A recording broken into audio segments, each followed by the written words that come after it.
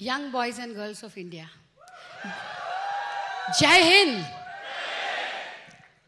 Transformation परिवर्तन का मतलब है ट्रांसफॉर्मेशन ये मैंने देखा 16 साल का बच्चा जो आर्म फोर्सेस में ज्वाइन होता है वो जब 19 इयर्स और 20 इयर्स में बाहर आता है he becomes a gentleman that is transformation पास नहीं कुछ भी देने को पास नहीं कुछ भी देने को अपना यौवन देता हूँ। ये कहकर वो बच्चा अपने कंधे पे at the age of twenty पूरे देश को अपने कंधे पे लेता है। दिस इज़ ट्रांसफॉर्मेशन ये क्यों होता है?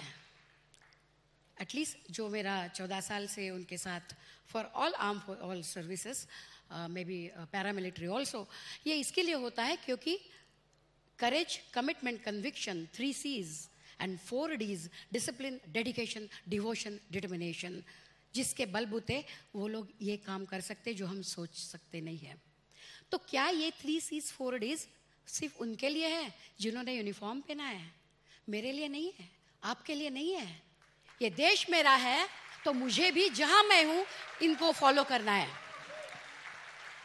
अगर मैं भारतीय होने के हकदार बनना चाहती हूँ तो मुझ मुझमें भी ये डिसिप्लिन डेडिकेशन डिवोशन आना चाहिए एंड वन मोर डी दिमाग में डाल दिया है, जो मैंने उधर देखा। I think I have one minute मुझे तीन मिनट दिए तो मैं फास्ट फास्ट बोल लेती हूँ। तो एक मैं दिमाग में डाल देना हूँ, बोल देती हूँ कि एक एक एक्सपीरियंस बोलती हूँ। मुझे मिलिट्री हॉस्पिटल से फ़ोन आया था। मेरे कर्नल ने कहा था कि मेरा एक बंदा श्रीनगर श्रीनगर से फ़ोन आया, उनका बंदा मिलिट्री हॉस्पिटल में है, सो जस्ट जाके बात करो। तो मुझे लगा मेरे, मुझमें इतनी ज़िम्मेदारी है कि उस बच्चे का हौसला अफजाई करूँ। तो मैंने घर में बर, बहुत रट लिया, ज्ञानेश्वरी, गीता, सब कुछ सब कुछ एंड आई कॉल्ड हिम तो वहाँ से मुझे फ़ोन आया yes ma'am I am captain Shaurya here I said I want to meet you मुझे पता चला आप बीमार हो, बोले मैम डोंट वरी आप करवेनगर से मुझे मिल रहे don't come don't come ma'am I absolutely all right ma'am nothing has happen there is a small scratch on my skull listen nothing has happen there is a small scratch on my skull my left hand is in plaster मेरे पेट पे operation हुआ है सो थोड़ा सा वहाँ problem है. और मेरा लेफ़्ट लेग मेरे सामने हवा में उड़ गया क्योंकि मैंने माइन पे पैर रखा है. I am all right ma'am and I will meet you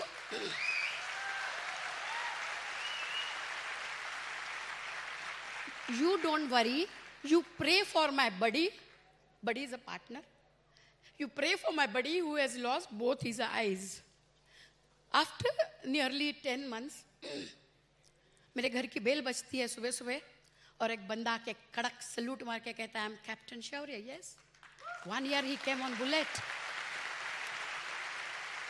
हम सब कुछ कर सकते हैं। हमें सब कुछ करना है। यहाँ रह के।